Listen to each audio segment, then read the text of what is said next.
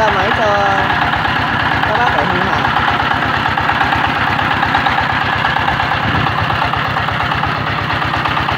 Máy ờ, tàu nhanh GL91 đầu nổ 22 HP